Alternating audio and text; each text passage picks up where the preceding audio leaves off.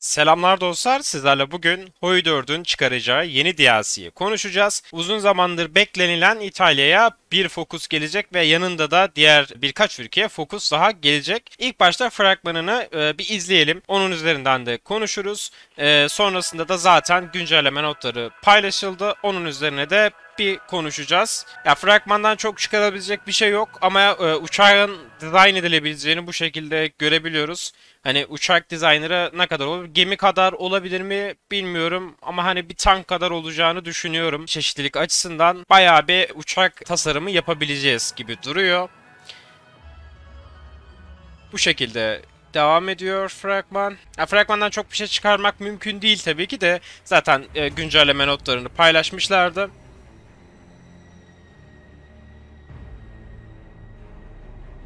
Şu şekilde de bir girişi var.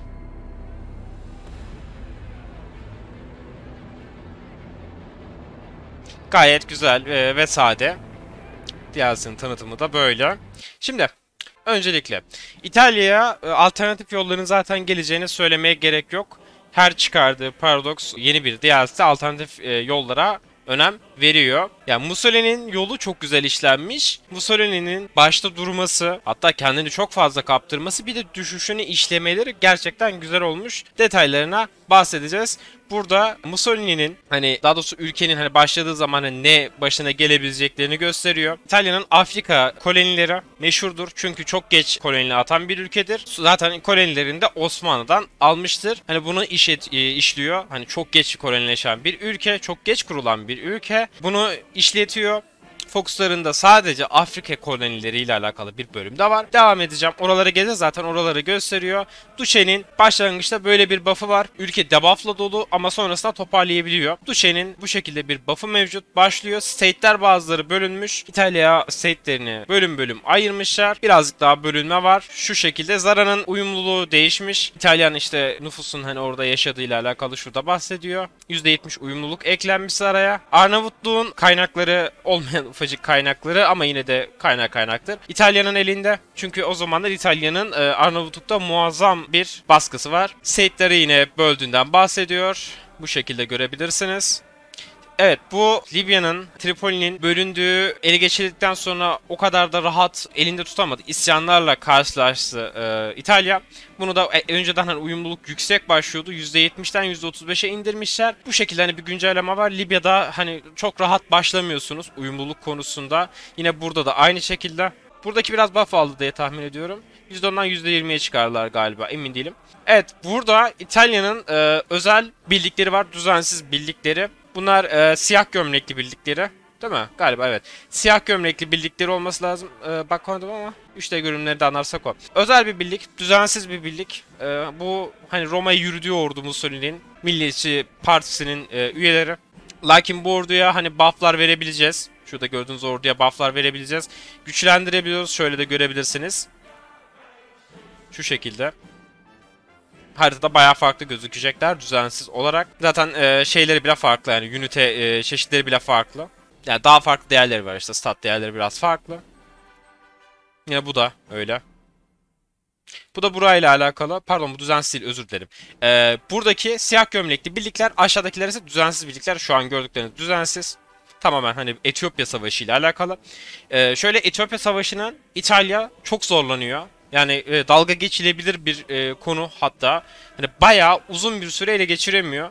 Bunun çok fazla e, sebebi var. Hani İtalya'nın e, o bölgede tutunamaması, yani o direnişi bir türlü yaramaması, yeterli önemi verememesi gibi. Aslında dünyaya bayağı uzun bir süre rezil oluyorlar.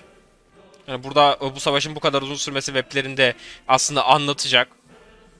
Şöyle 3D unitlerin e, tipleri var. Bu şekilde. Uçak e, yeni türleri gelecek. Bayağı bir uçak dizaynı gelecek. Generallerden bahsedilmiş şu şekilde. Advisor'lardan bahsetmiş. Bu arada Etiyopya Savaşı'nda Etiyopyalılar iyi direniyor ama İtalyanlar da gerçekten e, kötü savaşıyor. Fazlasıyla bir advisor çeşitliliği var gibi duruyor. Yani tek bir yolda e, bilemem ne kadar var ama alternatif yollarda da bayağı bir advisor gelecek gibi duruyor şirketler var. Şirketlerin olması gerekiyordu. Ee, yani neye yönelecekseniz ona ait bir şirket gerçekten var. E, eğer ki hani bir submarine mi basacaksın ya da bir screen mi basacaksın? Bununla alakalı e, şirket çeşitliliği daha iyi. Uçakla alakalı bir e, buff'ı var. Uçakla alakalı ciddi bir e, buff alabiliyor. Range e, Akdeniz'de hani çok önemsiz gibi dursa da yine fena değil. Yine diğer şirketler var. Support şirketi var. Elektronik şirketleri var. Hele hele şu e, dur. Şu ilgimi çekti. Astalti e, hani Construction Company fena değil gibi duruyor. Şu an diğerlerini vermemiş galiba onun ama ben beğendim. Yani fazlasıyla şirket çeşitliliği var. Bu Türkiye'de de olan bir şeyde e, hani koş şirketleri gibi düşünebiliriz. Ha, çeşitlilik açısından diyorum yoksa e, bir sıralama yok yani tek bir e, şirkete vermiyorsunuz. Yanlış anlaşılmasın. Burada e, Focus serisinin genel e, şeyi var. Burası ay, ay, farklı bir yol artık. Focus serileri de bayağı bir tanıtmışlar. Evet, İtalya'nın e, şeyle kolonyal apayrı bir yolu var. Kolonileri ele geçirdikten sonra e, bu yollara açılıyor ve hani dediğim gibi çok geç e, kolonileşen bir ülke ve kolonilerini tekrardan e, hani güçlendirmesi gerekiyor. Zayıf kolonileri, develop fokusları var. Erit şeye, Etiyopya, Libya, Eritrea ve Somaliland'a e, develop yapabiliyorsunuz. Sonrasında da buralardan petrol çıkarabiliyorsunuz. Hani e, ve Libya'yı ve diğer e, kolonilerinizi güçlendirebiliyorsunuz şu şekilde de gösteriyor. Etiyopya Savaşı'nı bitirdikten sonra buralar tamamen e, toparlanıyor. Mussolini zafer kazandıktan sonra. Kolonyale e, bunlara özel mi tam bilmiyorum ama belki diğer ülkelere de gelmiştir. Emin değilim onu tam okuyamadım. E, Kolonyale e, yeni bir e, şey getirmişler. Hani bu işgal ettiğimiz topraklarda değil daha çok Afrika'da e, işleyen bir sistem. Kolonyal polis gelmiş. Şu şekilde bir değeri var. Bunda bunun arasında baya bir fark var mı? Evet ama ben yine de uyumluluğu seçerdim. Gene de e, hani rezistansı çok kısması ve garnizon gerektirmemesi açısından gayet güzel. Yani bunu alacağımıza yani lokal e, neredeydi bunun eşdeğeri? Evet. Lokal e, polis force'tan kat ve kat daha iyi olduğunu görebiliriz. Yani kolonyallerde kullanılabilir. Silah kırdırmamak açısından mantıklı. En azından ilk başta sonrası uyumluluk topladıktan sonra tekrardan hani e, sivil bir yönetime geçiş yapılabilir. Şöyle de kolonyal polisin bufflarını göstermiş. Gerçekten güzel. Evet koloni ile alakalı e, yine division düşme ile alakalı. Burada e, nereye düşüyor bu? Eritrea, e, Tripoli ve Somaliland'a e, düşüyor. İşte bu düzensiz e, orduları toplama muhabbet dedim ya hani bu savaşlarda 50 e, command power 50 pp verdikten sonra size birer bir e, bir tane ne veriyormuş? Infantry e, düzensizi veriyormuş. Bir de bir tane e, at veya at ve deve veriyormuş. Hatta iyi veriyormuş bu arada. Fena değil. 2 birim, 2 birim, 2 birim 3 yere. Fena değil. Tekrar kullanılması için ortalama 1 yıl geçmesi gerekiyor. Yani düzensiz birlikleri de göreceğiz. Tekrardan bunları e, dağıtabiliyoruz organize edebiliyoruz. Muhtemelen organize ettiğimizde de buff vereceğiz. Ee, şurada gördüğünüz gibi. Şu aşağıda yazan değer bu arada şimdiden söyleyeyim. Bu Etiyopya savaşında e, durumun kızışma değerleri. Ya, savaşın daha fazla işte tırmanması gibi. Kolonyal polise e, buff veriyormuşuz bu arada. Evet bu bayağı iyiymiş. E, lokal e, factory, research gayet iyi. Research bayağı iyi target veriyormuş rezistans. Bunlar bayağı iyi. İşte kolonyal polisi bu fokusları gittikten sonra haritada kullanmak bayağı iyi olur. Ee, bunu görmek ne demek oluyor? Muhtemelen diğer ülkelerde pek de olmayabilir bu. Yani İtalya'ya özel olacak muhtemelen. Tam okumadığım için çok şey yapmayacağım. Ee, buralara işgal ettiğimiz yine kolonilerle hala daha devam ediyoruz. Ettiğimiz yerlere altyapı ve uyumluluk veriyor. Yatırım yapıyoruz duçu olarak kolonilere ya da diğer e, alternatif yollarla. Yine kolonyal polise bir buff mı veriyor? Evet. Şunu şu aynı değil değil mi? Hayır aynı değil. E, kolonyal polisi bayağı bir güçlendiriyoruz anladığım kadarıyla. Yani şunları da alırsa ha kor ha değil yani. Çok da önemli değil. En azından isyan yemeyecek. Burada e, yine asker düşmekle alakalı. Hani bu e, Etiyopya Savaşı'nın uzun e, soluklu gidebileceğini hatta Etiyopya'nın oynanabilir e, bir ülke olarak çıkaracaklarını söylemek mümkün. Etiyopya Savaşı çok kanlı olacak ve Etiyopya'da da bu savaşı kazanabiliriz. Ama cephede değil de daha çok direnerek e, İkinci Dünya Savaşı'nın başlarında falan herhalde size bir peace mekaniği eklemişlerdi ya da 2 yıl falan dayanırsak diye tahmin ediyorum. Öyle tahmin ediyorum. Zaten onların da güncelleme notları gelecek. Orada da bakarız. İtalya'nın zaten şu an için e, belirli bir kısmı açıldı. Evet, e, burada ne verilmiş? Evet, burada düzensiz birliklere e, buff'ı olan bir e, komutan görüyoruz. Deveye, ata ve düzensiz birliklere aynı zamanda da e, supply penaltısını kısan bir general var bayağı iyi. Bayağı iyi. Yani o arazide e, kullanılacak bir şey olduğunu gösteriyor. Burada e, ekonomik e, fokusunu görüyoruz. Yine tercih yapmamız gerekecek. İtalya'ya kolay yoldan ya da uzun yoldan ama daha iyi bir e, şekilde fabrika alabiliyor genellikle. Burada endüstriyel de görüyoruz. Sivile e, ufak da bir e, olsa bir buff'ı var mı? Evet. E, ufak da olsa bir debuff'ı var ama aslında askeri e, teknolojilere çok büyük bir e, debuff'ı var. Ya bu e, gelişmekte olan bir sanayi İtalya sanayisi ve aslında savaşa e, hani hiç girmeye hazır olmayan bir ülke. Bunun detaylarını anlatacağım. E, şu şekilde bir e, hani hem air hem topçu bunlara zaafı var İtalya'nın. Ya tüfek müfek hadi diyeceksiniz ama çok ciddi bir teknolojik e, atılım yapamıyor İtalya ve geri kalıyor. Bunu da oyuna yansıtmışlar. Bir de bunlar savaşa girmeye cidden hazır değil. Ee, hani savaşa girdikleri gün burada da yazmışlar zaten hani ticaret konvoylarına el konuyor yani o kadar bir haber.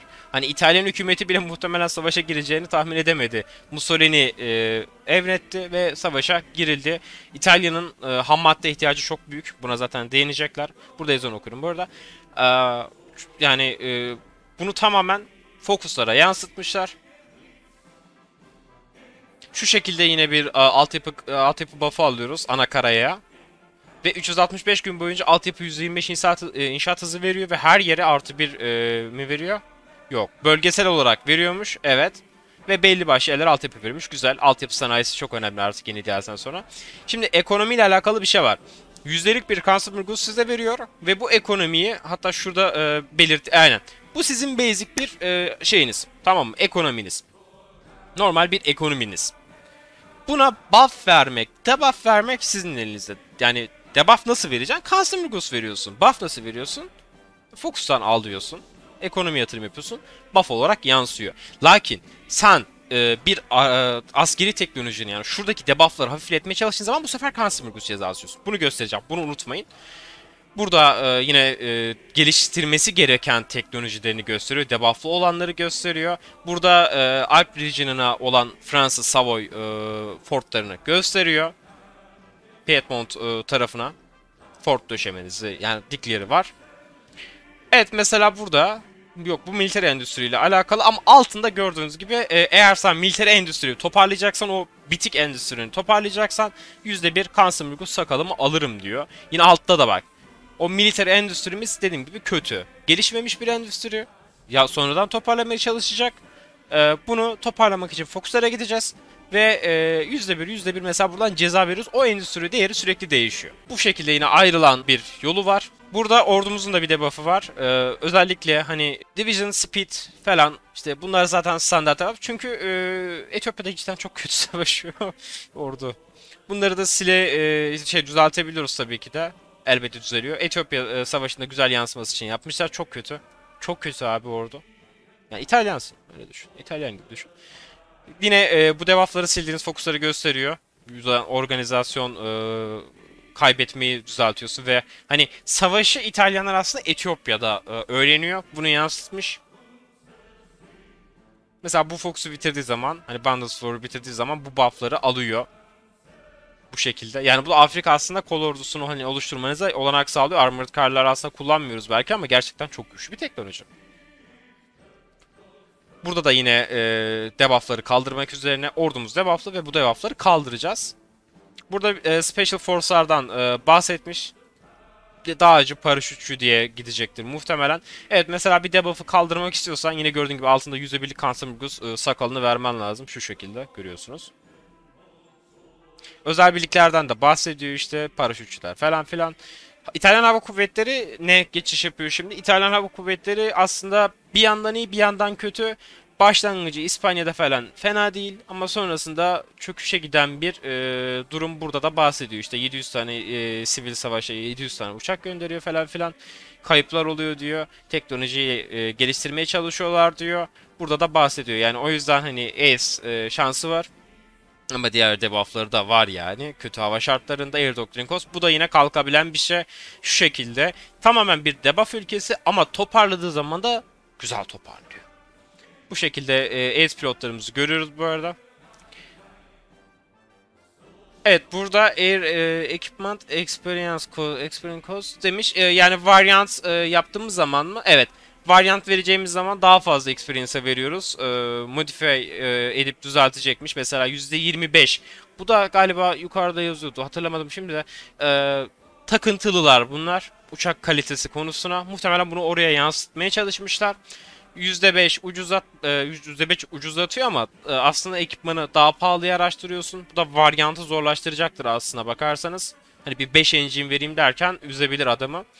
Burada e, tam tersi galiba değil mi? Aynen. Standart bir de özel e, şeyde. Bu daha pahalı üretiyor ama hani experience %50 kısıyor. Herhalde bu daha mantıklı olur. %5 ucuzlatma yerine experience alıp dizaynı bedavaya yapmak var gerçekten çok e, büyük bir buff olur şu alttaki. Üstteki bilmiyorum. Yine tercih edilebilir tabii ki ama kesinlikle bu bir tık daha benim gözüme iyi çarptı.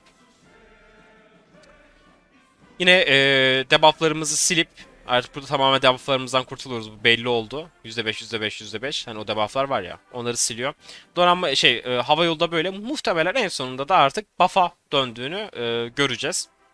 Donanması bu şekilde bayağı bir e, şey var, fokusu var. Yani bu fokuslara gitmek uzun sürecek ve e, bedeli de ağır olacağı benziyor. Eğer ki Akdeniz donanması istiyorsan bir bedeli var. Bunu gösteriyor. Yine naval e, dok şeyle alakalı, navalla alakalı debuff'unu gösteriyor. Yani 3 konu işledik. Ordu, hava, donanma. Üçünde de debuff'unuz var ve bunları kaldırmak sizin elinizde. Şu şekilde büyük bir debuff'ınız var. Bilmiyorum o kadar da değil ama yine de sıkıntı abi. Yine de sıkıntı. Petrolle alakalı bir e, olayı var. Hani e, şöyle ba, e, şey barış zamanı yapmak gerekiyor bunu. Değil mi? Aynen. Barış zamanı yapmak lazım ya da onunla mı savaşmamak lazım bilmiyorum. Ee, belirli bir oranda size 2 yıllığına çok güzel bir e, hani petrol anlaşması sunuyor. İsveç'e gidiyorduk yanlış hatırlamıyorsam. Ee, hani çok güzel hani bir, iyi bir buff. Gidilmesi gerekiyor. Benz, e, petrol e, depolusun. Buradaki depolama olaylarının bir olayı daha var. Onu da anlatacağım. Şu şekilde e, gittiğin zaman gerçekten 2 yıl boyunca daha az yaktığını hissedeceksin kesinlikle. Donanmayla alakalı yine e, bufflarımız var. Evet bu e, yeni gelen bir şey. Şimdi şöyle e, beraber tatbikatlara çıkabiliyorsunuz. E, şu şekilde iki tarafında aldığı bir experience var. Ve e, Galiba evet e, gemide yaptıracağız onu da göstereceğim. E, bu şekilde beraber ortak tatbikatlar düzenle düzenleyebiliyorsunuz işte ne Romanya ile veya hani e, şeyle Yugoslavya ile yapabiliyorsunuz bunu. Screen'e ya da e, daha çok Battleship'lere bir e, yönelim yapabiliyorsunuz. İkiye bölünen bir yol, yol var. Capital Ship gördüğünüz gibi. Bu şekilde yani İtalya'da donanma oluşturmak istiyorsanız bunun e, Foxon'a giderseniz yapabilirsiniz. Ya da Submarine filosu yine güçlü olabiliyormuş. Yine burada e, Kansermugus bir debuff'ımız yiyoruz ama Yugoslavya'ya şöyle bir olayımız var. Yok yemiyoruz. E, hani diğer ülkelere e, hani gemi bastırabiliyoruz. Bir yerden sonra alacağız bunları. Bu donanma işbirliği önemli. Yani bir donanma istiyorsanız eğer. Naval Dockyard veriyor. Bir de şöyle bir olay var. E, İtalyanların carrier yok savaşta. Bunlar sivil gemileri e, carrier'e çevirmek istiyor. Burada zaten bunu yazmış e, burada iki seçeneğiniz var. Ya kendi 30, 1936 e, carrier'larını askeri bir carrier oluşturacaksınız ya da sivil gemileri carrier'a çevireceksiniz. Bu işte e, hani kalite mi daha ucuz mu e, seçimi tamamen. Bu size ne veriyormuş? Evet bir tane varyant çıkarıyormuş. Bir tane hemen carrier veriyormuş.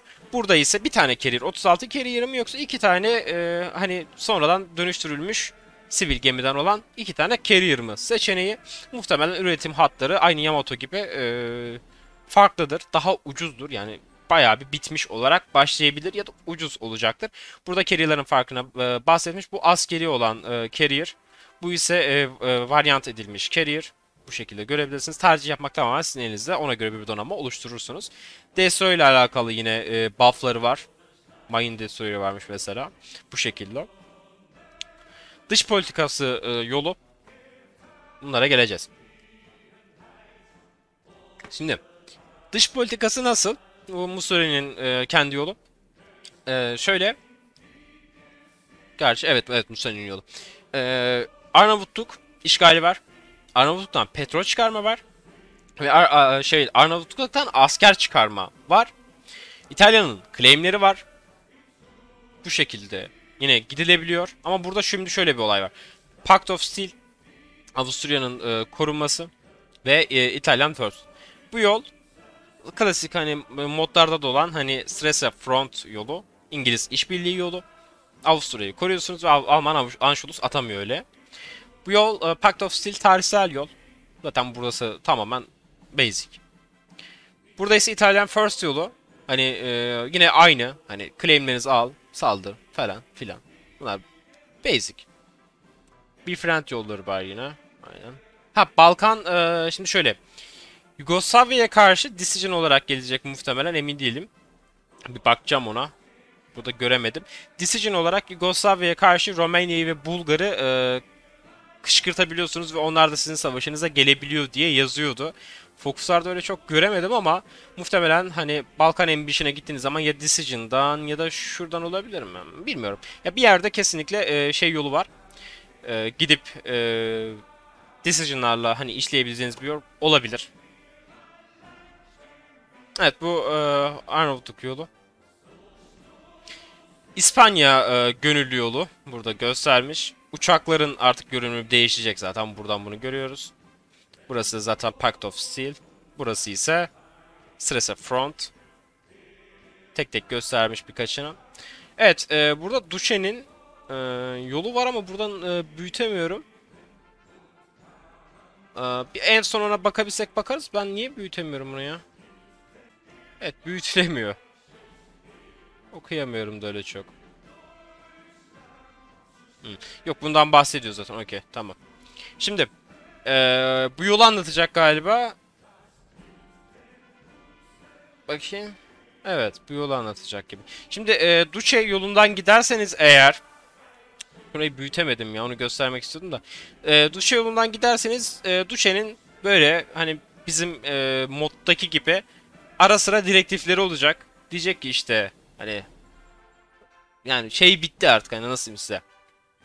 Hmm. İşte Christmas saldırma diyor ya da saldır diyor. Böyle ara sıra bunların e, görevleri olacak. Mussolini'yi dinleyip dinlememek sizin eliniz olacak. Yani tamamen bir diktatörü e, hani onun verdiği direktifleri yapmak ya da yapmamak arasında e, gidip geleceksiniz. Mesela burada gidip de iki tane size aktif görev vermiş tamam mı? Demiş ki ne demiş? Ha. En az üçünden ikisini galiba kontrol et demiş. Aynen. Hani kontrol edersen sana bir ödül veriyorum. Bu şekilde. Yani 120 gün içerisinde buraları kontrol edersen sana bir ödül veriyorum. Ve Etiyopya'ya debuff veriyorum. Mesela. Bu görevi bitirirsen sana ufak bir ödül veriyor. Duçe sana emir veriyor ve sen Duçe'nin emrini yerine getirmeye çalışıyorsun. Tamamen e, keyfe keder bir diktatörün oyuncağı olarak devam edeceğiz gibi duruyor. Su kızışma mantığını anlamadım. Nasıl bir debuff veriyor bir ona bakacağız. Mesela burada sana bir e, mission vermiş. Demiş ki e, diktatör Duçemiz bana işte yarım milyon kaç 500 bin e, petrol depola. Benim depomda 500 bin olsun. Ben sana diyor ki eğer başaramazsan burada bir yıl içerisinde debuff vereceğim. Ama başarırsan Army Experience, Navy Experience, e, Air Experience vereceğim. Ve sana bir yıl boyunca buff da vereceğim ve ufak da olsa bir e, var support vereceğim. Bu şekilde e, size aktif görevler verecek ve başarısız olduklarınız veya başarılı olduklarınızı buradan e, görebileceksiniz. Muhtemelen lojistikle alakalı da bir şey var. Şurada belki. Bakalım. Evet bu yolu ha şimdi gösterdi. E, bu yol Duce'nin kendi yolu muydu? Evet, Duce'nin kendi yolu işte. Bir bakayım. Etiyopya görevleriyle alakalı e, olabilir mi? Evet galiba öyleydi. Biraz aşağıda gösterecektir muhtemelen. Ha şu sisteme geliyoruz. Tamam okey. E, buradan hani gittiğiniz yola göre hani bir bölünme durumu var ya. Öyle direkt geçebiliyor muyuz bilmiyorum alternatif yollara ama öncelikle duşa başlarken Etiyopya Savaşı başlayacak ve ona göre gideceğiz. Muhtemelen Etiyopya Savaşı'nın sonuna sonucuna göre ya duşa inecek. Duşa'yı zayıflatma yerlerini göstereceğim bu arada. Ona göre şurada 3'e ayrılan bir olay var. Bunların her birinin kendi e, buff'ı var. Mesela bunun size vereceği şey milliyetçilik buff'lıyor, stability veriyor, politik şey veriyor. Bunun kendi görevleri var. Otomatik geçiyor. Yani şuradaki e, bununla hani bu Duçe'nin verdiği görevlerle alakalı. Mesela bu başarısız olunca muhtemelen e, hani milliyetçilik gidecek. Belirli bir stability falan kaybedeceğiz. Yine burada daha da gidecek. Artık çöküş e, başlayacak. Milliyetçilikte bu galiba kaybettiği senaryo bile olabilir. Emin değilim. Bu emin değilim yani görevsizleri başarısız hale getirip kaybettiği bir senaryo bile olabilir. Duçer'in artık e, koltuğunu sallandığına. Çünkü Duçer'in artık koltuğu sabit değil. Duçe'nin e, çok fazla seçeneği var. Ne gibi? Mesela sen Duçe'yle her şeyi güzel yaptın. Başarılı gittin. Toprakları fethettin. Ama İtalyan halkı öyle değil. İtalyan halkı Palermo'ya bir çıkarma yerse ne oluyoruz demeye başlıyor. Bu mekanik eklendi. Eğer ki senin koruna girerlerse sen artık e, debuff yiyorsun. Bayağı bayağı debuff yiyorsun. Ve hani Duce acaba gitsek mi iç savaş yolları gözüküyor. Çok güzel bir mekanik olarak oyuna ekleniyor. Ajanlıkla alakalı bir e, buff'ımız var. Şu şekilde. Şimdi sol taraf sizi devirmeye çalışan yol. Sağ tarafsa Duce'nin diktatör olduğu yol. İkisi de aslına bakarsanız birazcık kötü. Ortada olmak fena değil. Yani tek güç Duce'de olursa bu sefer sıyırıyor herif kafayı. Çok büyük bir debuff değil. Bu arada tüm güç Duce'de olabilir. Ama sol taraf artık bir Civil War yolu. Yani eğer ki e, taraf seçmemiz gerekecek muhtemelen Duce e, tarafı bizim için daha hayırlı olacak ama eğer ki Duce'nin gitmesini istiyorsak artık Duce'yi devirmek için hamleler yapacağız. E, şu şekilde de bakanlıkları kendi eline aldığını görüyoruz. Duce bunu zaten burada da yazdığı gibi tarihte de yapıyor. Yani adam e, hani atıyorum eğitim bakanlığını alıyor, adalet bakanlığını eline alıyor. Bu şekilde kendi gücünü katlıyor. Orduya yine aynı şekilde bu şekilde görünüyor. Bufflar maflar verecek ya da debufflar verecek. Bu şekilde bir bakanlık sistemi var. Şu şekilde e, ülkenin hani güç kimin elinde olduğunu gösteriyor. Ya e, Milliyetçi Konsey'in ya da e, bizim Mussolini'nin burada git geller tabii ki de değer olarak fark edecektir. Mesela buradayken Duce gayet güzel bir buff veriyor. Varsobor stability falan veriyor. Burada artık bir ufak debuff vermeye başlıyor. Bahsettiğim debuff bu. Ee, burada artık bir debuff vermeye başlıyor. Arm Experience, e, Navy Experience ve e, hani e, Air Experience'da. Bu düşenin en e, maksimum gücünde olduğu zaman da bu sefer lavuk her şeye el attığı için çöküş başlıyor. Mesela burada da artık e, hani e, diğer tarafa doğru gidiyoruz. Burada da politik advisor evet ucuz ama Duça kontrolü kaybetmiş. Ofansif bir savaşta penaltı yiyorsunuz ve var support kaybediyorsunuz. Daha da ilerledikçe bu devam ediyor. Ve bir yerden sonra konsey başa geliyor ve büyük bir iç savaş e, başladığını görüyor. Non-aligned e, ile başlıyor. Ya Duce devrili kısa, e, kısacası tarihte de olan bir durum. Sürekli dengeyi tutmanız lazım. Bazı fokuslara gittiğiniz zaman e, Duce'ye hem buff veriyorsunuz hem de gücü e, kontrol altında alması için ona bir e, avantaj veriyorsunuz. Mesela burada bu yola gittiği zaman %10 e, daha çok hani o tarafa geçtiğini gösteriyor. Bazı advisor'lar var. Bu advisor'ları alırsak mesela bu güzel bir advisor değil mi? Eyvallah. Hoş. Değil mi? Aslında değil yani çok değil. Bu yola ben bunu alırsam bu advisor'ı koyarsam ne oluyor abi? Bir şey oluyor. Bir güç kaybediyor. Paranoya var şerefsizde. Heh. Burada yine e, hani buff ver, debuff al gibi gibi. Bunların hepsi PP. PP verenler muhtemelen buff oluyor ya. Ama gerçi ideoloji ise durum değişir. Yine bu şekilde. Gördüğünüz gibi. Yani sürekli decision'lar bir Duce bir bunun arasında gitgeller yaşıyor. Bütün gücü Duce'ye vermek orduda a, doktrinsiz kalmanıza yol açabilir. O biraz sıkıntı. Duce'nin yine yollarını görüyoruz. Ee, ve haftalık olarak bir değişim var. Evet bu da önemli. Bak haftalık olarak bir değişim var. Gördüğün gibi. Yani canlı bir e, sistem var. Yani sen gidip de bir Palermo'yu kaybedersen ya da büyük bir başarısızlık elde edersen muhtemelen bu bir anda e, yokuş aşağı gidecek olan bir sistem. Duce'nin ayağını kaydırmak kolay olmayacak. Ama Duce'nin de iktidar tutması o kadar kolay olmayacak. Burada e, Mussolini'nin kendi fokusları var. Şurada yine e, kendi gücünü yine eline alıyor. Burada da öyle. Ve en sonunda da eğer Duce'yi hani en yüksek kademe ulaştırırsanız böyle bir buff alıyor. Hani Stalin'de de olduğu gibi milliyetçilik alıyor falan fistan. Ve çok abartı değil ama çok fazla evet. Gerçekten command power açısından biraz üzülecek olsanız da yine de fena değil. Fena değil. Çoğu olarak fena değil. Neredeydi o? Bir yerde daha vardı. Colonial Empire yolları. Koloniyellerle alakalı genişletme yolları var. Geç onları. Bu işte e, siyah giyinen adamların e, ikinci versiyonu siyah gömlekliler. O yolu göstermiş. Bunları güçlendirebiliyorsunuz. Güçlendirebiliyorsunuz. Burada da muhtemelen düzensiz ordudan bahsediyor. Bilmiyorum o kadar önemli. Ama Non-Core Power %15 bayağı iyi. Yine e, şeyi rezistansı kısmak için önemli. Mesela burada ajanlıkla alakalı. 4 ajanlık geliştirmesi yaparsan sana ben bu buff'u veririm diyor. Fena değil. İşte e, özel bir birlik, paraşütçü birliği. Ondan bahsetmiş. Ordunuzu daha da fazla bufflayabileceğinizden bahsetmiş. Ve Division Template eklerim diyor. Nankor'a yine buff veriyor. Bayağı iyi. Bu özel birliğin ha burada şundan bahsediyor bu arada. Şu özel bir birlik işte bu e, hani siyah gömlekliler ve bunların e, sayısını arttırmak için güçlü bir birlik. Bunların sayısını arttırmak için e, fokusları var ve bu fokuslar hani daha fazla e, hani template'e kapasite veriyor. Special Force olarak ayrı bir e, sekmede gösteriyor. Artı 12 tane daha template başına veririm diyor. Bakalım yani. Özel bir birlik muhtemelen limit olacak. Special Force olarak geçecek. Burada ee, ha şöyle bir olayımız var. Bu İtalya'nın artık e, Mussolini'nin devrildiği ve iç savaş yediği yolu. Burada ikiye ayrıldığına bakmayın aslında e, bir taraf farklı bir taraf farklı. Bir taraf sol taraf İngiliz mandasındaki ama e, milliyetçilere karşı savaşan İtalya. Diğer taraf ise Almanya'nın bir gecede el koyduğu İtalya. Mussolini tarafı İtalya şey e, krallık tarafı. Burada görüyorsunuz. İşte buff'larını al al al en sonunda da bağımsızlığı. Hani özgürlük deyip bağımsızlık. Buraya gidiyorsun, devam ediyorsun, devam ediyorsun, devam ediyorsun. Yine bağımsızlığını alabiliyorsun. İtalya ortadan ikiye muhtemelen bölündüğü bir senaryoyu görebiliriz. Palermo çıkarmasının devamı Duce'nin e, bayır aşağı gittiği bir senaryoda. Evet burada yine e, Dan Alliance'dan yine ordu alacağını görüyoruz. Bu şekilde gösteriyor.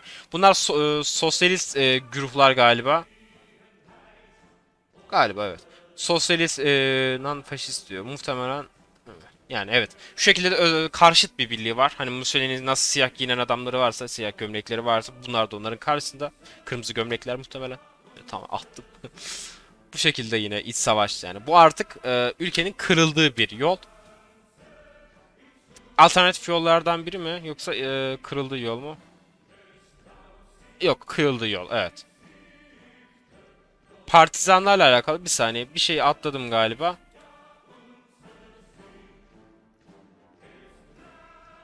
Ha yok tamam. O solda krallık tarafında çıkıyormuş özür dilerim bu birlikler. Yine burada e, tamamen ayrıldığını gösteriyor. Yani ülke tamamen Mussolini'yi yönetip yönetemediğinize bakıyor. Bir taraf eğer ki hani düşerse muhtemelen yine bir İtalya kurulacak. Alman savaşı kaybettiği senaryo yine bir ee... ne olur acaba ya? Hangi taraf oynayacak? Mesela ben şeyi merak ettim. Hani bunu size de söyleyeyim.